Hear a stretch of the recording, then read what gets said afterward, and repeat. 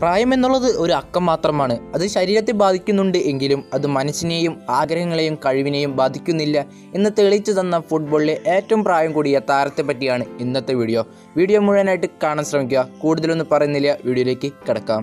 സാധാരണ രീതിയിൽ നമ്മൾ ഫുട്ബോളിൽ കണ്ടിട്ടുള്ളത് മുപ്പത്തഞ്ച് മുപ്പത്തെട്ട് വയസ്സാകുമ്പോൾ വിരമിക്കുന്ന താരങ്ങളെയാണ്.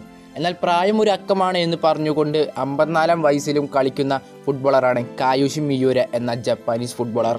അമ്പത്തിനാലാം വയസ്സിലും താൻ കളിച്ചുകൊണ്ടിരിക്കുന്ന ടീമിനായിട്ട് പതിനേഴാമത്തെ സീസണിന് വേണ്ടി പുതിയൊരു കോൺട്രാക്റ്റ് സൈൻ ചെയ്തുകൊണ്ട് ലോക ശ്രദ്ധ നേടിയിരിക്കുകയാണ് കായുഷ് മിയൂര എന്ന ജപ്പാനീസ് ഫുട്ബോളർ അമ്പത്തിനാല് വയസ്സുള്ള താരം മുന്നും ജപ്പാനീസ് ഫുട്ബോളിന്റെ ഒരു കിങ്ങും കൂടിയായിരുന്നു. അതുകൊണ്ടാണ് അദ്ദേഹത്തെ ടീമിലെടുത്തിരിക്കുന്നത് എന്ന് നമ്മൾ വിചാരിക്കരുത്. അദ്ദേഹം ഇപ്പോൾ കളിച്ചുകൊണ്ടിരിക്കുന്ന ടീമിന് വേണ്ടി അദ്ദേഹം ഇപ്പോഴും ഗോളുകളും അസിസ്റ്റുകളും കൊടുക്കുന്നുണ്ട്.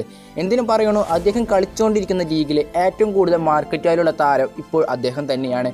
അപ്പം നമുക്ക് മനസ്സിലാക്കാൻ സാധിക്കും അദ്ദേഹം എന്തോ ഒരു ഡിമാൻഡുള്ള താരമാണെന്ന്.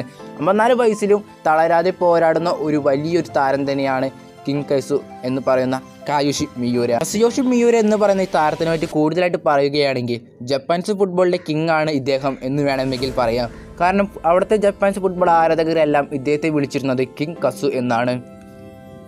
ആയിരത്തി തൊള്ളായിരത്തി എൺപത്തിരണ്ട് അദ്ദേഹം ജനിച്ചു വളർന്ന സ്ഥലത്തിലെ ഹൈസ്കൂളിലെ ഫുട്ബോൾ ടീമിൽ കരിയർ ആരംഭിച്ച ഇദ്ദേഹം ആയിരത്തി തൊള്ളായിരത്തി തൊണ്ണൂറിൽ നാഷണൽ ടീമിൽ പ്രവേശിക്കുകയും രണ്ടായിരം വരെ അവിടെ കളിക്കുകയും നാഷണൽ ടീമിന് വേണ്ടി എൺപത്തൊമ്പത് കളിയിൽ നിന്ന് അമ്പത്തഞ്ച് ഗോളുകളും നേടുകയും ചെയ്തു. അതുകൊണ്ട് തന്നെ ജപ്പാൻ നാഷണൽ ടീമിന്റെ എക്കാലത്തെയും മികച്ച താരമാണ് കായുഷി മിയൂര. അദ്ദേഹം ജപ്പാൻ നാഷണൽ ടീമിന് വേണ്ടി A F C Asian cup നേടാനും പിന്നെ ആയിരത്തി തൊള്ളായിരത്തി തൊണ്ണൂറ്റി രണ്ടിൽ Asian footballer of the year പുരസ്കാരം നേടാനും ഇദ്ദേഹത്തിന് സാധിച്ചു. ആദ്യമായിട്ട് Asian footballer of the year പുരസ്കാരം നേടുന്ന ജപ്പാനീസ് താരം കൂടിയാണ് കസുയോഷി മിയൂര. അതുകൊണ്ട് തന്നെയാണ് ജപ്പാനീസ് ഫുട്ബോളർ ആരാധകർ അദ്ദേഹത്തെ കിങ് കസു എന്ന് വിളിക്കുന്നത്. പിന്നീട് രണ്ടായിരത്തി അഞ്ച് ഹോക്കമ്മ എഫ് സി എന്ന് പറയുന്ന ക്ലബ്ബിൽ അദ്ദേഹം ജോയിൻ ചെയ്യുകയും ആ ക്ലബിന് വേണ്ടി ഇതുവരെ ഈ കാലഘട്ടം വരെ കളിച്ചുകൊണ്ട് ഇരുന്നൂറ്റി എഴുപത്തെട്ട് കളിയിൽ നിന്ന് ഇരുപത്തേഴ് ഗോളുകളും ഇദ്ദേഹം നേടി.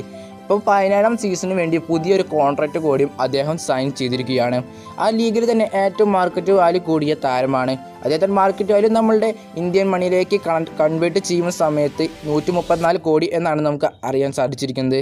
അപ്പോൾ അത്ര വലിയൊരു മാർക്കറ്റ് വാല്യുള്ള താരവും അത്ര വലിയ എക്സ്പീരിയൻസ് ഉള്ള താരവും ഇതുവരെ വിരമിക്കാതെ അമ്പത്തിനാലാം വയസ്സിൽ കളിച്ചുകൊണ്ട് പ്രായം ഒരു അക്കമാണ് എന്ന് തെളിയിച്ചുകൊണ്ട് ഇപ്പോഴും മുന്നോട്ട് പോയിക്കൊണ്ടിരിക്കുകയാണ്.